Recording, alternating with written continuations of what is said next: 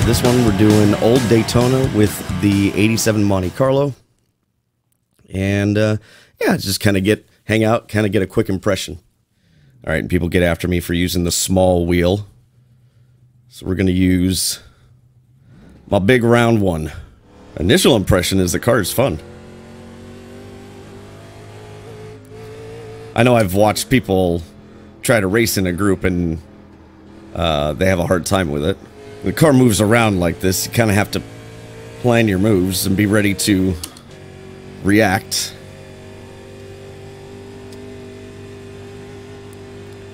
Car kind of falls into the corner.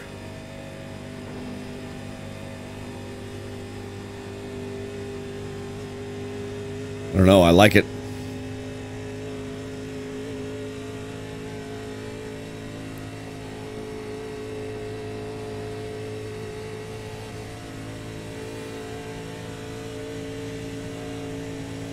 Car falls into the corner again, gets a little loose.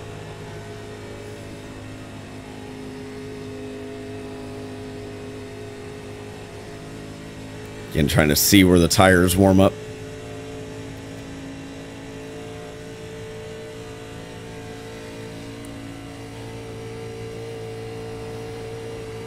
So don't turn the wheel too much. The car kind of falls into the corner.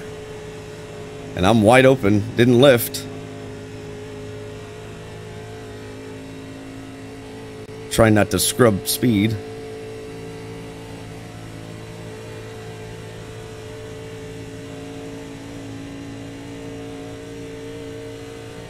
See what it's like. Next lap. Yeah, I can see where that would be a little disconcerting for some people. The car just falls into the corner and the steering wheel gets super light. I don't think that's actually out of the ordinary for this car, but again, we're not doing any setup changes. We're just kind of running whatever it recommends. So you just kind of got to be careful. It's going to get loose going into the corner. You can hold her on the bottom.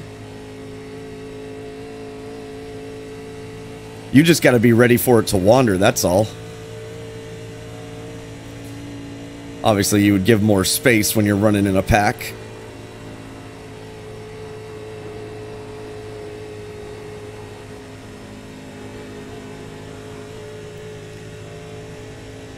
I think this is fun. People need to realize when the car goes into the corner, when it gets light, don't move the wheel until it. Yes, you don't keep turning. You just kind of hold the wheel steady, wait for it to come to you. See, we don't hold it. Back end coming around. I could have actually lifted a little bit, keep the back end from coming around so much. But I wanted to run high, see if we could run it high.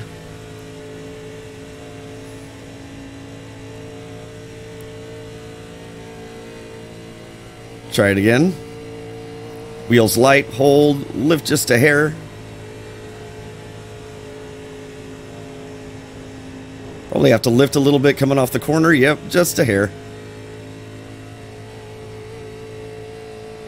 How about in the tri-oval? Same thing in the tri-oval. Gets a little light in the wheel.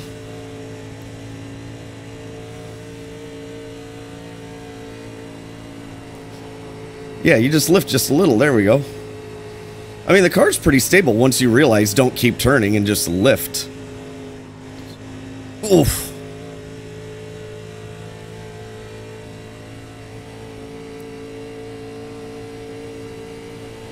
We're going to dive from the outside to the inside going in. Hold the wheel, lift just a hair. Car still gets a little loose, but that's all right. I like how much the car moves around. But I could understand how this is probably not very easy for a lot of people to drive. I don't know, I like it. It's even worse in draft when you're almost 215. I imagine so. But I think it's all relative.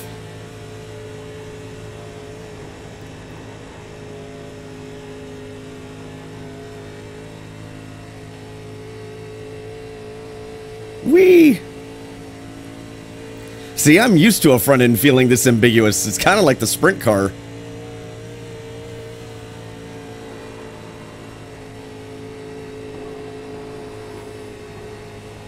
I don't know, this... This seems fun. Uh, it's probably a nightmare to race with other people, but it makes Daytona not boring. I like it. So I think that's default setup is that 70. Should try it at 0 or 10. Oh, that sounds horrific. Alright, the assumption is going to have to be pretty careful going into this first corner. I'm going to assume... Uh, okay, it's not as bad as I thought it was going to be.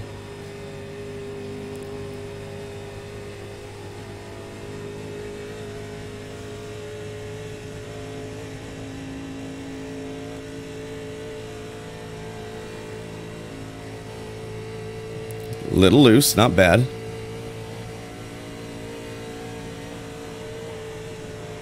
Just lift a little. Oh, seems all right. Off the corner. Still okay.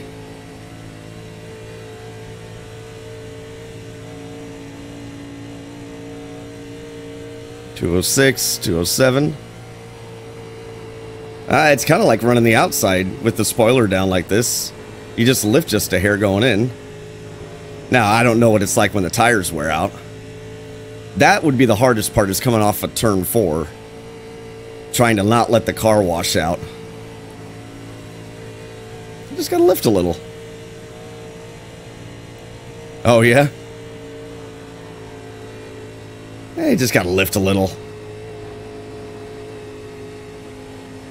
God, I, I love how much the car moves.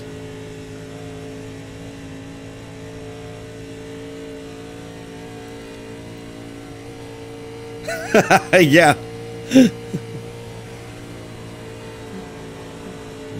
That's awesome. You just work your foot. See, just a little lift helps calm the car just a little bit.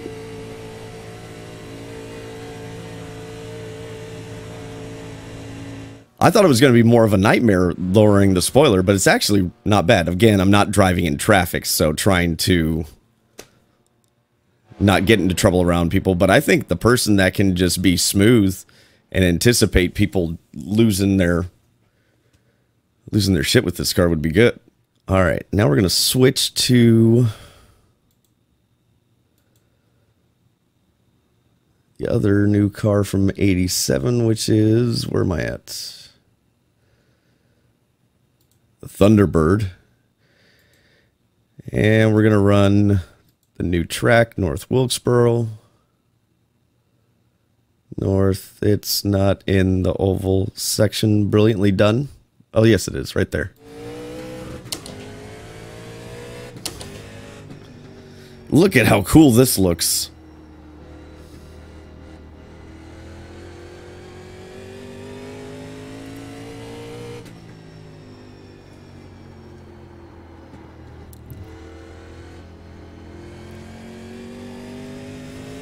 Ah. That's really neat.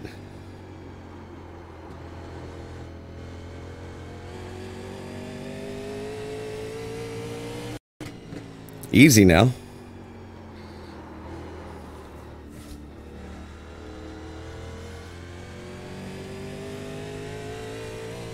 Yeah, Darlington would have been on the other side, right?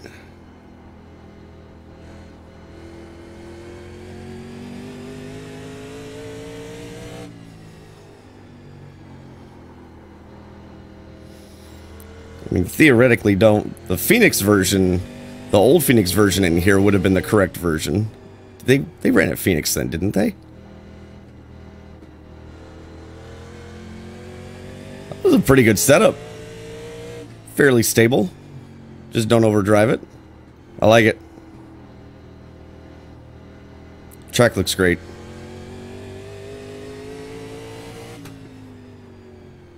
Car works well around there. I don't think Bristol would have been concrete. I think that's right. Racing schedule. Okay.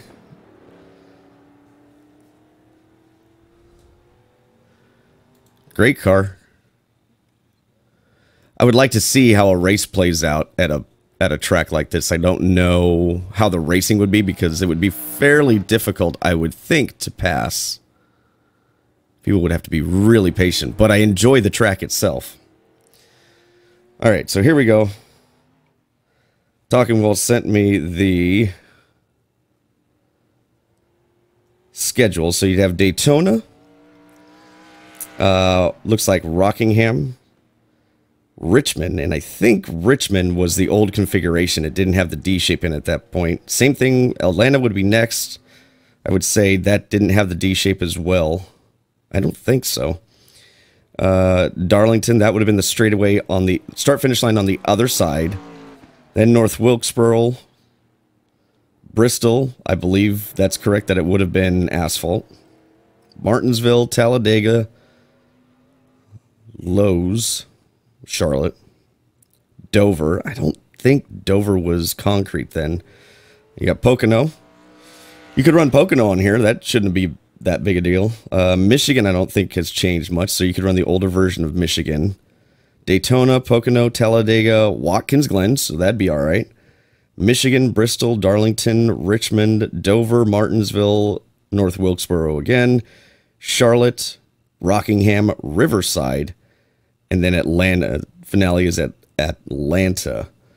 Uh, Riverside would be cool. Appreciate everybody watching. You all have been great. I'm Billy Strange. Take care. And I will see you in the next stream.